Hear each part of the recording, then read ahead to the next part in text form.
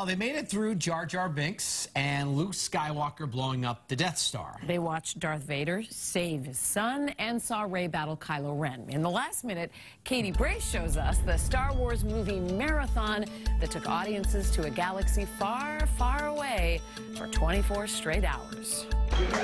All nine movies! Didn't sleep a wink!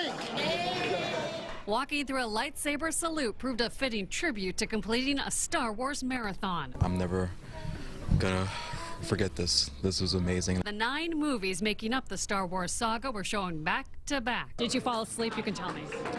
I fell asleep during Jar Binks. And that was, you know. Moviegoers made this theater at the Showcase Cinemas in Dedham home for 24 hours. Absolutely worth every second of it. They had the force on their side as they prepared for the epic adventure.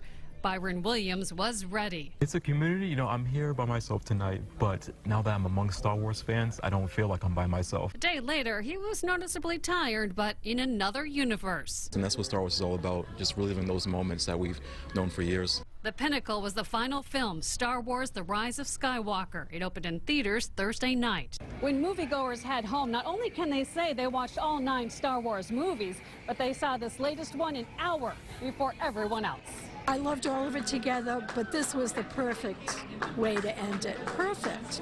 Phenomenal. Now I'm going to go home and crash. In Dedham, Katie Brace, WBZ News.